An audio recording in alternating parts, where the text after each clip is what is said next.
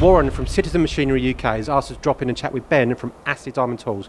Great story about longevity of Citizen Cincom machines, the great, great salesman, and new technology. Ben, first of all, though, Astley Diamond Tools. I know it's a stupid question. What do you do? We do make electroplated diamond tools. Nice and simple.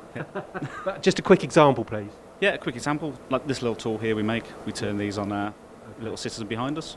This will go into a foundry, do some cast iron, take some fettling, nice and easy. Excellent. Okay, now, just taking a step back, though, you bought your first Citizen machine in.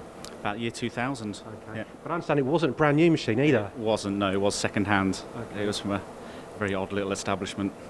Oh, what sort of establishment, just to clarify? Well, they were just making little stainless steel parts for the, the fetish industry. Oh, okay. But that was for, that machine was 1982 machine. It was, yeah, it was, it was an old machine. Okay. Perfect for us at the time, but it's time to move on, I think. Okay. But that's only just sort of left last year, and that was sold, so it's still working. It's still going, yeah, it's still working. Not, not far from here now. Okay. But you found out. I mean, you, you're looking at a new machine. So you, why did you choose Citizen? Why did you, you found out about the LFV? Is that right?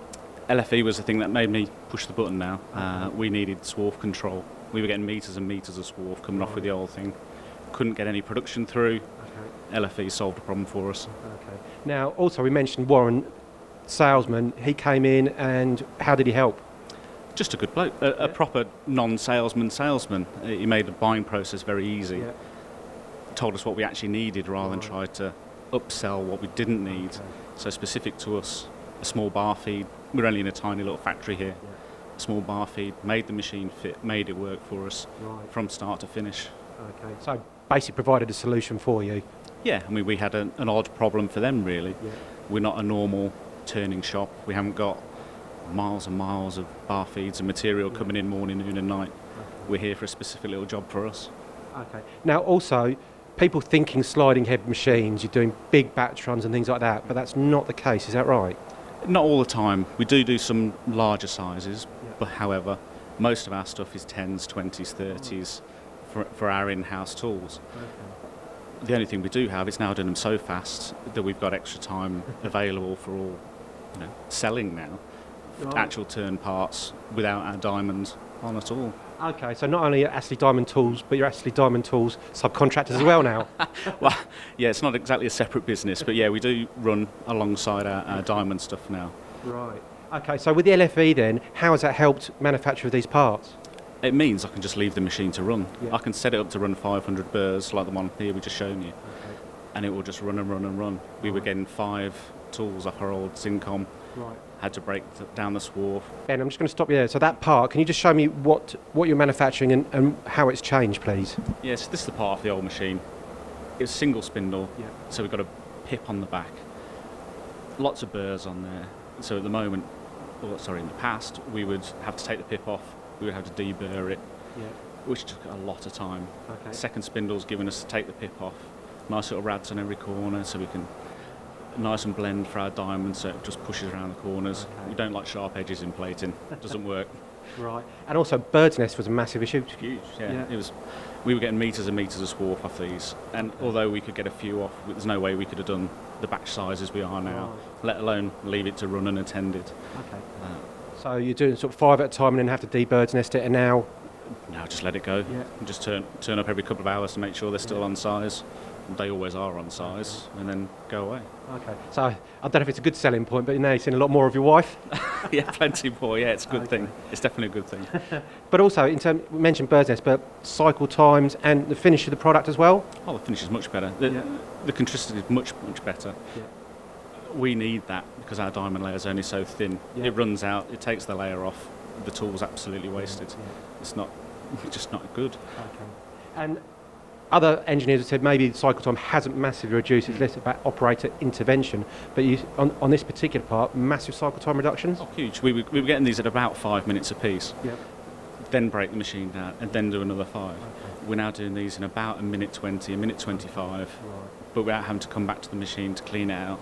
It's Yeah. it's a, it is a proper life changer in terms of I'm going home on time because I'm not stood here making five parts at a time, cleaning the machine out. Okay.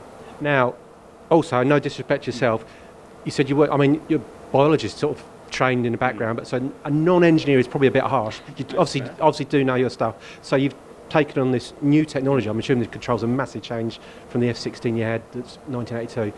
Easy to take on, easy to program. I found it easier to program than I thought it was going to be. I did think I was going to be stuck in a classroom for weeks on end, and it's not been the case at all. They've been very good. The guys at the Citizen have helped us, and to an extent, there was a little bit handhold in the first couple of weeks, which was honestly needed, but they didn't seem to mind at all. Okay. And I would be phoning them up and ask a stupid question, or what I would think was a stupid question, Yeah. but no, it was problem solved.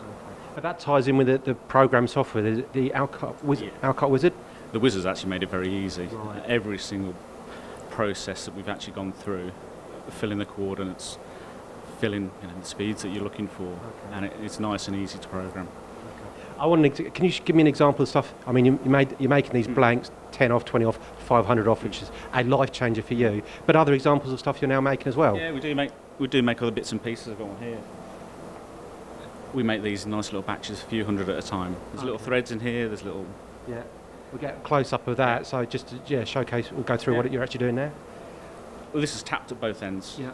It's tapped through the top. yeah. There's four different drill holes all the way through it, and it's just a tiny little part for us. The wall thickness is only 0.3 of a millimetre, so we, we were really proud of that to start with, and to do that, which I would think was impossible from what we were doing before. Excellent.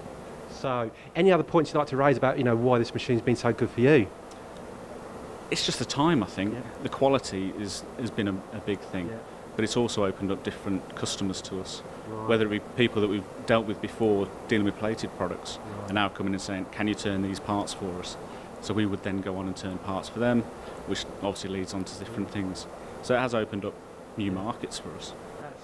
Ben, great, great story and great example of the guys from Citizen and obviously the machinery, the LFV. Everything really fantastic. Thank you very much. Thank you.